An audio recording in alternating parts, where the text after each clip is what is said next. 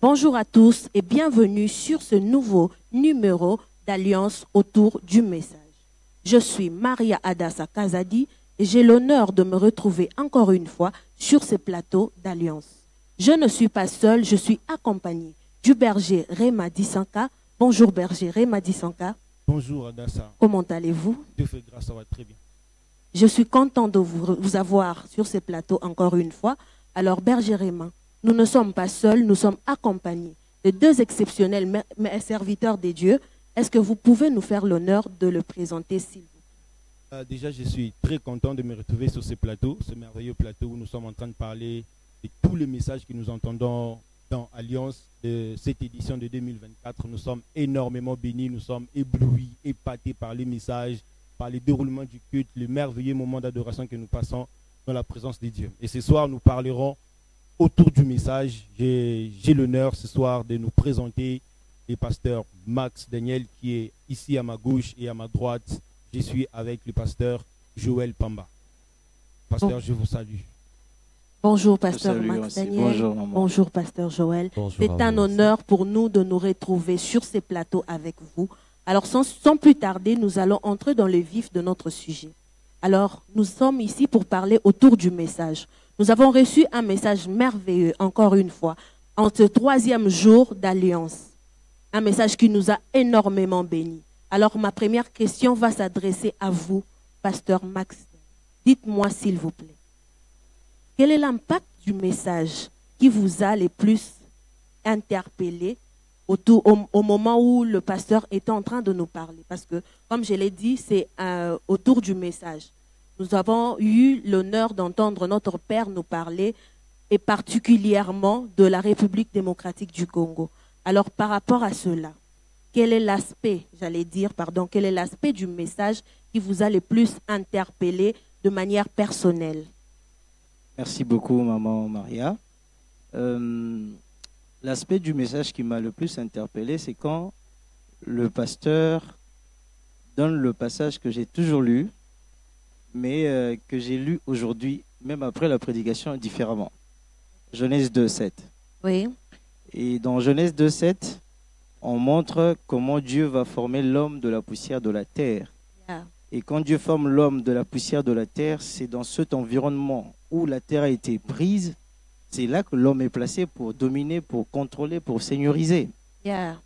Et donc, je, je ramène cela à la thématique que nous avons pendant cette alliance de la RDC qui est notre, qui est notre territoire. Ce qui voudrait dire qu'il y a une alliance entre nous et le pays et la terre dans laquelle nous sommes. Parce que quand tu lis ce passage correctement, je l'ai lu différemment, j'ai dit après la prédication. Oui. Dieu a formé l'homme de la poussière de la terre. Et c'est cette terre-là, écoutez très bien, c'est cette terre-là qui a permis à la vie de l'homme de retenir le souffle de Dieu. Yeah. Et ensuite, l'homme est devenu un être vivant. Est-ce que vous comprenez? Oui. Il n'était pas un être vivant, on l'a formé de la terre et Dieu a soufflé. Quand Dieu a soufflé, c'est cette terre-là, la forme terrestre, si je peux le dire comme ça, que l'homme a eue, qui a permis que le souffle soit retenu. Yeah. Et donc, ça veut dire que la terre dans laquelle nous sommes peut nous permettre de recevoir les bénédictions de Dieu, en fait. Il y a un lien entre nous et la terre.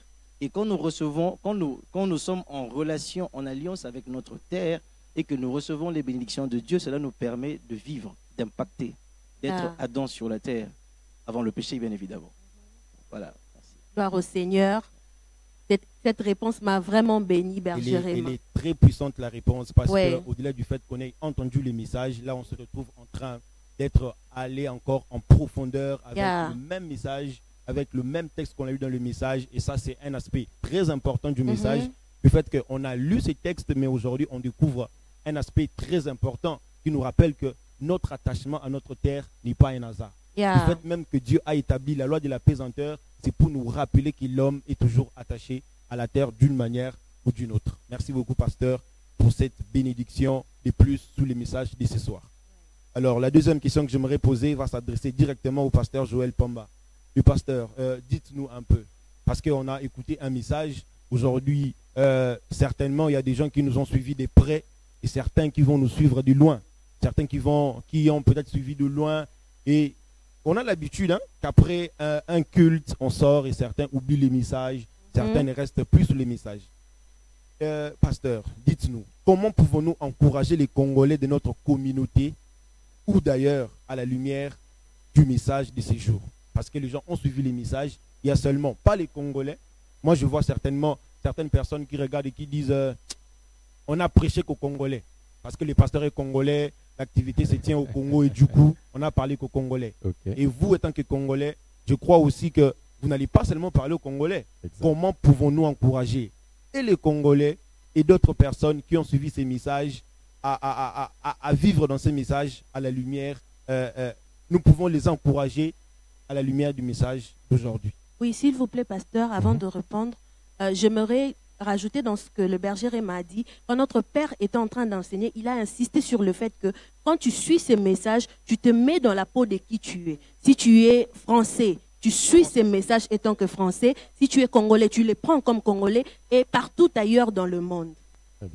D'où je me dis que la réponse du pasteur, vous qui nous suivez, prenez-les de votre manière. Donc dites-nous, moi je suis français, je le prends comme étant français. Nous les Congolais, nous allons le prendre étant que des Congolais. Merci pour la question et euh, nous rendons gloire à Dieu d'abord pour euh, ce qu'est Alliance 2024, pour euh, ce merveilleux thème. J'en suis convaincu hein, que c'est le Seigneur qui est euh, l'auteur de ce message que l'on est en train de recevoir. Très souvent, nous, nous aimons le- les thèmes qui font tomber les gens, hein, nous les pasteurs. Nous Mhm. aimons les thèmes qui cassent le chaise, mais très peu de fois nous aimons le, euh, le thème qui, je vais emprunter l'expression que quelqu'un a utilisé, qui bouge le tibia. Ok. Très peu de fois. Mhm. Alors, qu'est-ce qui me révolutionne dans ça ou comment on peut aider les gens à, euh, à émerger ou à changer leur philosophie par rapport au message, par rapport à leur nation Au fait, ce qui m'a le plus touché, je vais le dire en des mots très simples. Dieu est un nationaliste. Yeah. Dieu est un nationaliste, les amis. Regardons depuis le début, depuis euh, celui qui est le Père de la foi, Dieu se présente comme étant le Dieu des nations. On nous l'a dit, on nous l'a redit, et j'ai été choqué, comme le pasteur Max Daniel. J'ai toujours lu Apocalypse 2. Euh, plutôt, c'est pas Apocalypse 2, mais le, le- le- le chapitre m'éch- m'échappe encore, mais j'ai toujours lu. c'est, euh, non, non, je parle d'Apocalypse les hommes de toute langue, de toute nation, de toute tribu. Les saluts en Jésus, eh bien, Jésus s'en fout que tu sois Louba, que je sois Swahili, que je Ah. sois Wallon, son salut est efficace sur moi. Mais une fois que j'arrive au ciel, je peux dire à Jésus de louange dans ma langue mater- maternelle. Eh bien, Dieu étant nationaliste, le Dieu des nations, n'est pas avoir un esprit nationaliste, eh bien, d'une certaine manière, je réunis un peu la divinité de Dieu en moi. Tel il est, tel nous sommes. S'il est nationaliste et que je ne suis pas nationaliste, eh bien, je suis ingrat. Je dis à Dieu, tu as mal fait de m'avoir placé dans cette nation.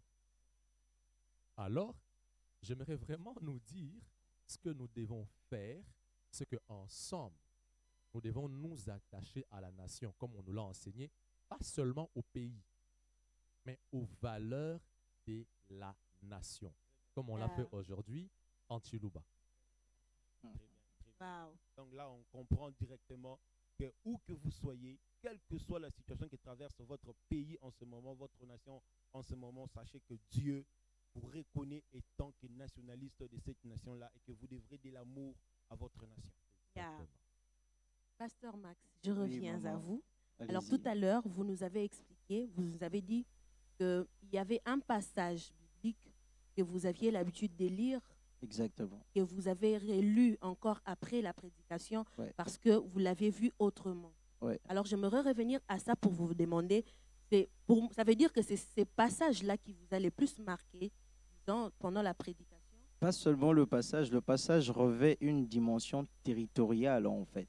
C'est le territoire qui me marque. ouais, C'est le territoire qui me marque parce que Adam a été placé dans un territoire. Et dans ce territoire, Adam avait des responsabilités.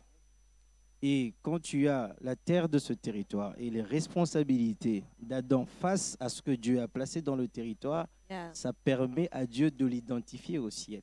Est-ce que tu comprends ça?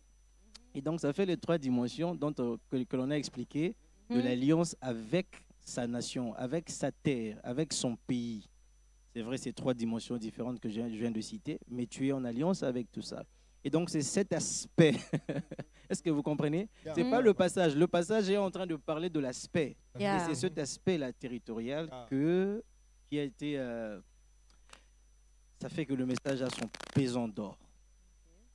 D'où je me dis, vous pouvez vous, vous, vous tenir à, à ces passages bibliques pour développer dans notre pays d'une manière, d'une certaine manière. Mais, mais effectivement, effectivement, déjà, euh, quand je suis en train de dire que c'est avec la terre du jardin qu'il a été capable de retenir le souffle de Dieu et de devenir vivant, il est vivant dans le jardin. Yeah. Est-ce que vous comprenez? Il est vivant dans le jardin. Et donc, étant... Oh my God. Vivant sur sa Il, terre. il- il- il y a des gens, Elle me donne envie de parler en langue là. il y a des gens qui sont en train de suivre maintenant là et ils sont en train de dire Pasteur Max, ne nous laissez pas sous la Oui. soif. Allez-y, allez-y. Non, non, ce que je suis en train de dire, c'est que, et donc moi, Congolais, parce que je prends le, le, le, le matériel didactique que Dieu utilise pour ce message, c'est le Mhm. Congo, parce que nous sommes Congolais, mais c'est pour tout le monde en tout cas. C'est pour toutes les nations. Alors moi, Congolais, avec la terre du Congo en alliance, j'ai, je deviens la réserve de retention des Yeah. grâces divines, Yeah. le souffle Yeah. de Dieu en Yeah. moi les bénédictions de Dieu en moi, les richesses dont on parle, spirituelles, matérielles et autres. C'est ça le souffle en fait. Mm. Et donc ça fait que je devienne vivant pour le Congo. Yes. Parce que Yeah. Adam était Amen. vivant dans le jardin. Yeah. Et moi, je deviens vivant pour le Congo. Wow. Et donc, et donc la, la portée est tellement élevée que Mm. quand Dieu visite Adam avec le souffle, c'est pour le jardin. Yeah. Ça veut dire quand Dieu vous visite, madame, vous visite berger, vous visite pasteur et moi, c'est pour le Congo. Yes. C'est pour le Congo. Et maintenant, ce- le, le fait est que cette façon, euh, cette réalité marche avec la vision, avec la façon de voir. Or, la vision, c'est tout ce que l'esprit a communiqué aujourd'hui. Mhm. Depuis, depuis euh, lundi, en fait. Depuis lundi, déjà, c'est ce que l'esprit communiquait. Et cette vision-là permet à Dieu d'agir. Plus la vision est plus grande, plus Dieu s'ouvre. Yeah. Quand la vision est petite et rétrécie, même si ton Dieu est puissant, il ne peut pas agir. On ne peut pas voir. Et maintenant, avec ce message, la vision est beaucoup plus ouverte. Je pense qu'on aura beaucoup de résultats dans le pays pour les croyants qui vont prendre ça à cœur. Gloire au Ah, Seigneur. gloire au Seigneur. Vous qui êtes à la maison, prenez votre cahier et notez cette phrase. C'était Plus votre vision est élargie, plus les actions de Dieu sont puissantes. Plus votre vision est les petites, les actions de Dieu sont limitées dans Oui, oui. votre vie. Et nous tenons à insister. Ce n'est pas que pour le Congolais. Ce n'est pas que pour le Congolais. Effectivement. C'est pour les tous les Congolais, pays du tous les monde. pays du monde. C'est pour Les vous pays du- Français, c'est pour vous les Camerounais, c'est pour, c'est pour vous les Ivoiriens, c'est pour tout, alors tous les pays du monde. Euh, Pasteur Joël, il y a une question encore qui va, euh, qui doit être développée bien sûr par vous parce que euh, aujourd'hui, je crois qu'avec le message qu'on a suivi, on aimerait quand même entendre encore un peu plus. Et Adas, j'ai l'impression que on est toujours dans le culte. Oui, On est oui, toujours dans le oui, culte, oui. comme le pasteur Marc venait de dire tout à l'heure.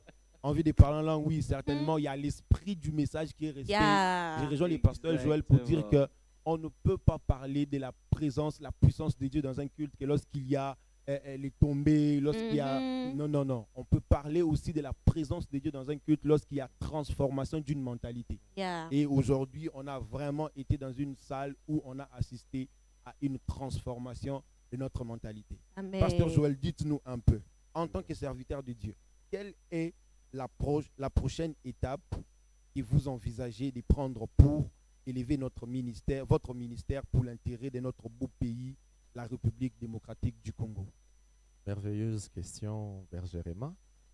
Euh, J'ai envie de dire il fallait que cette émission ait lieu. Je rends gloire à Dieu pour la bénédiction qu'est le pasteur Max Daniel. Pour moi, maintenant, tout de suite. Amen. Amen. Euh, Papa a dit ce qu'il a dit, ça venait de Dieu. Mais il a fallu que le pasteur Max dise quelque chose tout à l'heure. Yeah. La poussière du jardin. En fait, je suis en train de répondre à votre question. hein. La poussière prise du jardin, le souffle placé dans cette poussière qui est devenue une âme vivante, l'homme, pas pour l'homme, mais pour le jardin. Pour le jardin. Pour un éléphant qui devrait s'appeler éléphant. Au fait, c'est à cette dimension que moi, maintenant, je suis censé amener mon ministère. Pasteur, essayez maintenant de amener nous maintenant dans cette révélation. Ce que je suis en train de vouloir dire, c'est ceci.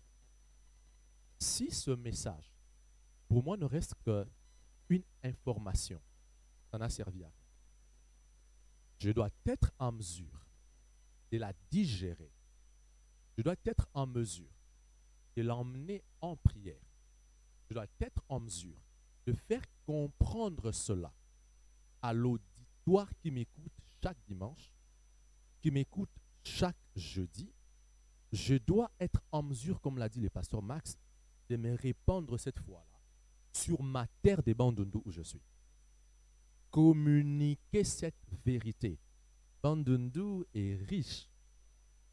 Il y a tellement de choses.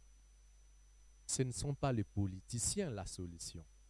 La solution, c'est le souffle qui est dans la terre des Bandundu que je suis. Yeah. Et quand Alléluia. je comprends ça, j'aide ceux qui sont autour de moi à comprendre ça. Ces parents, à leur tour, transmettent cela à leurs enfants.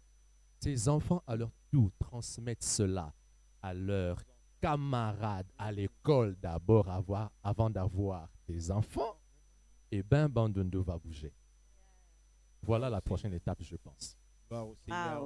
Comprenez maintenant, là, là, le message est directement pour les gens de Bandundu ici Mhm. parce que le pasteur, on n'a pas signalé, il est le pasteur de l'église Terre Sacrée à Bandundu. Et là, Bandundu, comprenez que vous êtes bénis à l'instant où vous écoutez cette émission et même après parce que le souffle va maintenant pouvoir agir sur la terre de laquelle elle a été tirée. Il y a, il y a- Ah, il y mais a moi- ce que le, le pasteur a dit qui est très important. Excusez-moi de vous prendre la Oui, parole. pasteur, Allez-y, pas de pasteur. Il dit que si ce message reste une information, ça sert à rien. Ça sert à rien même pour nous qui sommes sur ce plateau en ce moment. Il faut que ce message devienne une vie en fait. Il faut aller prier sur le message. Il faut pousser plus loin. Quand Dieu parle comme ça, c'est comme s'il t'a, il, t'a- il, il a agité la gerbe. Vous voyez, lors de, de, de la moisson, la première moisson là, on prend, on fait une gerbe agitée. Ça veut dire qu'il y a d'autres gerbes comme ça qui sont en train de venir. Yeah. Ça, ce n'est que le début, en fait. Pour que vous veniez suivre, en fait. Et donc, le message, c'est juste un appel, en fait. Dieu est en train d'appeler ses élus, Oui. comprennent, pour que par eux, ils passent pour toucher tout le Congo. Et ceux qui vont répondre à l'appel, c'est ceux qui vont faire ce que le pasteur dit. Ils vont aller en prière avec ce message. Yeah. Et que Dieu se révèle à eux par rapport au Congo, par rapport à Kinshasa, par rapport à ta commune. Voilà. Gloire au Seigneur. Gloire au Seigneur. Le, au pasteur Max a dit quelque chose d'important. Alors, comme vous l'avez dit tout à l'heure, Berger Emma, le pasteur s'est adressé à Bandundu. Mais moi, je suis contre pour dire le pasteur s'est adressé à Kasaï, le pasteur s'est adressé à l'Équateur. Non, non, Donc- moi j'ai- parlé dans le sens où il, a, il va rentrer avec les gens du Bandundu. Il les a même dit, Mhm. hum, il les a même parlé directement de cette façon-là. Mais sur tout ces celui qui entend le message, qui n'est pas du Bandundu ici, Voilà. se dira en lui-même que oui, moi aussi au Kasaï, ça là c'est pour moi. Moi au Maniema, ça là aussi c'est pour moi. Moi je suis en France, ça c'est pour moi. Aux États-Unis, ça là aussi c'est pour moi. Oui, c'est très important de toujours marteler parce que les gens ont l'habitude de mal comprendre les C'est choses. ça, c'est ça. C'est même pour c'est ça que notre père a insisté sur le fait que quand il a parlé, il n'a pas que parlé aux Congolais, mais à toutes les nations du monde, à tous les pays du monde. De la même manière, comme le pasteur Joël l'a dit, à Bandundu, nous nous parlons au Kasaï, nous parlons à l'Équateur, nous parlons donc à toutes les ethnies de la République démocratique du Congo pour vous dire, comme le pasteur Max l'a dit, euh, là, pardon, euh, a essayé de renchérir sur pour dire allez en prière sur ce message. Ce, message ne doit pas rester une information. Allez en prière et mettez-le en pratique. Parce qu'en fait, de- c'est la prière qui crée la dimension de l'alliance. Oui, pasteur. Amen. Hum, Est-ce que quelqu'un a entendu ça? C'est la prière qui crée la dimension de l'alliance. Yeah. Wow. Pour ceux qui nous, en- nous suivent ce matin, nous voulons vous dire tout simplement, ne prenez pas à la légère ce moment. Nous avons l'habitude d'assister à Alliance, première édition, deuxième édition. Ce n'est pas pour rien que toutes ces éditions existent. Chaque édition emmène une nouvelle dimension. Alors cette édition-ci veut tout simplement nous enseigner à comment faire une alliance avec Dieu pour notre pays. Nous sommes de ces pays, nous nous devons de faire une alliance à Dieu selon les richesses de notre pays. J'allais même poser une question au pasteur Max concernant ça et il avait déjà répondu à cette question, bien moi, évidemment. dire, avec nos, nos, nos, invités ce soir, il faut prendre les cahiers, là on écrit des prédications Yeah. et aller continuer à écrire Mhm. encore des messages parce que c'est très riche. J'ai envie qu'on ait encore les mêmes invités, même pour demain, même pour la suite. Et pour ceux qui n'ont pas écrit, vous avez la, la possibilité de revoir le message. Allez tout simplement sur YouTube, sur Facebook, écrivez Pasteur Lévi Congolo, vous allez revoir les messages du jour 3 d'Alliance et vous allez comprendre avec nous ce que nous sommes en train de dire sur ces plateaux. Alors, comme le pasteur Max a le micro, et je crois que le pasteur Max a tellement de choses à nous dire. Moi, personnellement, je connais le pasteur Max. hein. Euh. Quand il parle, il faudrait vraiment lui prêter attention parce qu'il a des tonnes et des tonnes de choses à nous dire. Alors, ce soir, j'aimerais poser au pasteur Max une dernière question. Je crois avec cette question, on pourra encore aller en profondeur, en profondeur, et notre cerveau est en train d'être lavé, notre esprit, notre âme, notre corps même. Je crois que ce soir, nous sommes en train d'être transformés. Yeah. Pasteur Max, dites-nous un peu. Dans les cas où il faudrait invoquer Dieu selon les richesses de notre pays, quel exemple d'une richesse de notre pays Hey. donnerions-vous, donneriez-vous à une situation de la vie courante Papa, il y en a beaucoup. Ok Il y en a beaucoup. Il y en a beaucoup. Seigneur, tu es le Dieu responsable des diamants du Congo. Yeah. Tu es celui qui a enfoui le coltan qui fabrique les, les batteries, les Amen. téléphones et autres. Seigneur, souviens-toi du Congo. Ce pays ne peut pas continuer comme ça. Seigneur, ouvre les portes, donne des ouvertures financières pour ce pays. Tellement, il y en a tellement. Même la terre elle-même, elle-même, la terre elle-même est une richesse pour nous. Vous jetez de l'haricot sur, euh, sur le sol, ça se reproduit. La terre est une richesse. Et donc le peuple congolais, c'est vrai, potentiellement riche, mais réellement pauvre en fait. Mais cela ne devrait pas être le cas. Et donc, si nous comprenons cela et que nous sommes des intercesseurs pour se tenir à la brèche, c'est cet exemple-là qu'on donnerait On en a beaucoup. Tout est riche en fait chez nous. Les femmes sont riches, les hommes sont riches. Yeah. Le pasteur a parlé même des tailles. On est riche en taille, on est riche euh, en ethnie, on est riche euh, en clan, on est riche en tout. Il y a 400, 454 dialectes répertoriés. Yeah. Donc il y en a d'autres qui ne sont pas sont répertoriés. Oui, oui. On est riche en tout. Et donc Ah. ça, déjà, ça montre comment est-ce que Dieu nous a bénis, physiquement, matériellement. Et donc s'il faut jamais plaider, voilà, il y a tellement d'exemples à présenter à Dieu. Et ça, ça vient de Dieu. C'est Dieu qui nous a donné ça. Yeah. Et Dieu peut laisser que cela se manifeste pleinement pour le Congolais et que le Congolais bénéficie pleinement de cela. Ouais. Je ne sais pas si j'ai répondu à la préoccupation, mais je pense que j'ai Non, bien Seigneur, c'était parfaitement répondu. Frères et sœurs, vous suivez à la maison, vous avez besoin d'invoquer le Seigneur, invoquer Dieu pour les diamants de notre pays. Invoquer Dieu pour notre nation, invoquer Dieu toutes les bonnes choses, les richesses qu'il a enfouies dans notre terre. Et je crois que ça, C'est ce que tu invoques avantages. Dieu, tu colles Dieu à la... la richesse de notre pays. En fait, ça vient de lui. Mhm, Ah. mhm, mhm. Tu, tu lui colles, il il est la source La de cette de richesse. Il est la source de ces diamants qu'on a commencé à piller depuis, mais qui ne s'épuisent jamais.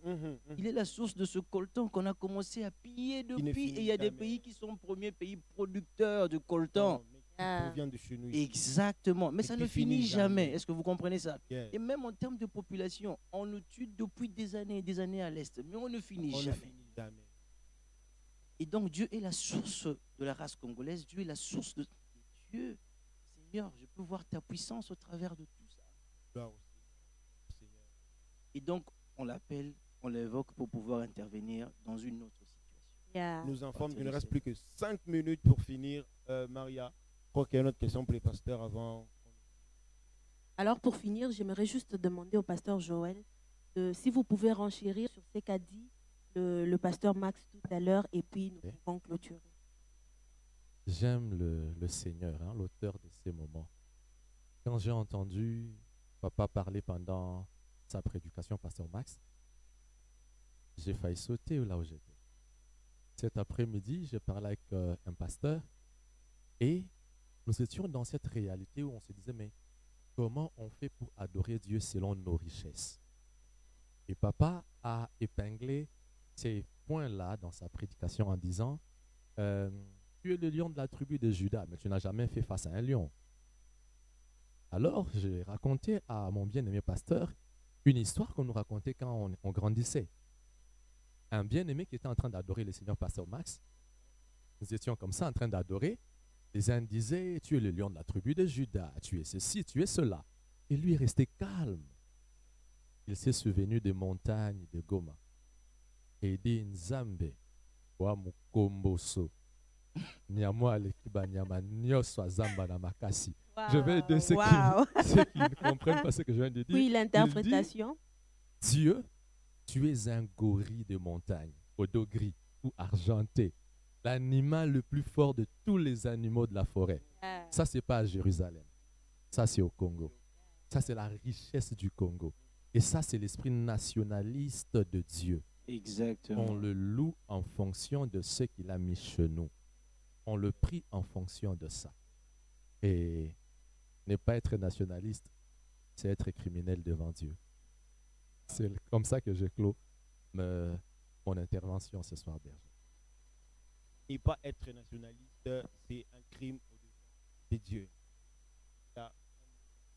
On va demander aux pasteurs euh, Max et les pasteurs Joël qui sont ici de faire une en faveur de notre nation, non seulement notre, toutes les nations qui nous suivent, parce que je crois qu'il y a des nations en ce moment qui ont besoin de la prière, et non seulement de la prière, mais cette prise de conscience, la valeur qu'a une nation, une terre devant Dieu, responsabilité qu'a l'homme sur la terre devant le Seigneur.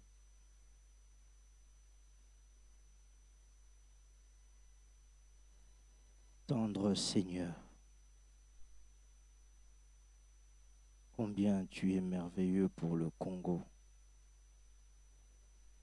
Tendre Seigneur, combien tu es puissant pour le Congo. Tendre Seigneur, combien tu es unique pour le Congo? Je t'en supplie, permets aux Congolais de s'en rendre compte permet aux chrétiens congolais, aux païens congolais, de se rendre compte de ce que tu es bon pour nous, de ce que tu nous as donné tout ce dont on pourrait avoir besoin. Seigneur, donne-nous la fierté d'être congolais et de te servir dans ta présence en tant que congolais. Seigneur, j'ai pas beaucoup à dire entends mon cœur. Je ne finirai pas sans te parler de l'Est du pays. Et Seigneur, tu es celui qui nous a donné cette terre et tout ce qu'elle renferme. Les mamans sont violées, les enfants sont perdus et certaines maisons bombardées. Des pères de famille se meurent et les familles sont disloquées. Seigneur, cette situation ne te dépasse pas. Tu es tellement puissant pour nous. Si seulement je peux voir ce, ah, Shadaka, eh, ce majestueux fleuve qui coule depuis des années et des années et des années et des années. Seigneur, la guerre a eu un début. Elle peut avoir une fin. Nous te prions en tant que ton Église que la paix rentre au Congo, à l'est du Congo, et que nos frères et sœurs, nos familles congolaises se reposent et qu'elles bénéficient de ces richesses, de cette paix, de ce climat tropical, humide, puissant, qui bénit même la peau automatiquement. Que l'on bénéficie de toutes ces richesses. Que gloire, louange et honneur te reviennent. Au nom de Jésus. N'oublie pas l'Église du Congo. Unis-nous, Seigneur, autour du Congo et autour de ta présence. Au nom de Jésus, je dis Amen. Bénisse abondamment. Je crois que ce moment a été une bénédiction pour nous tous. Une bénédiction pour ceux qui ont suivi, une bénédiction pour ceux qui suivront, pour la RDC et pour le Congo tout entier. Euh, alors, ça rappelons le programme d'alliance.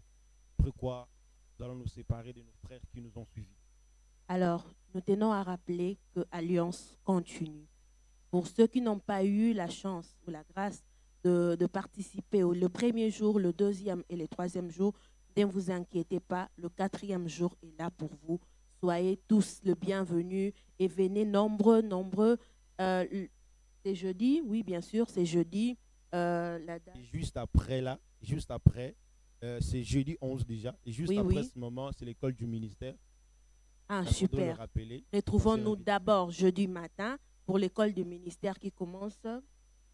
euh, Heure oui, Jusqu'à 12h et à la grande plénière à soir. partir des 17h juste. de 17h juste à 20h juste. Alors, ne manque pas. Merci beaucoup d'avoir suivi cette émission et nous espérons vous retrouver au prochain numéro d'Alliance autour du message. Que Dieu vous bénisse abondamment. Dieu vous bénisse. Bye bye. Retrouvons-nous donc à l'église Terre Sacrée sur avenue Colonel Pia au numéro 7 pour Alliance 2024. Vous êtes mon invité. See you there.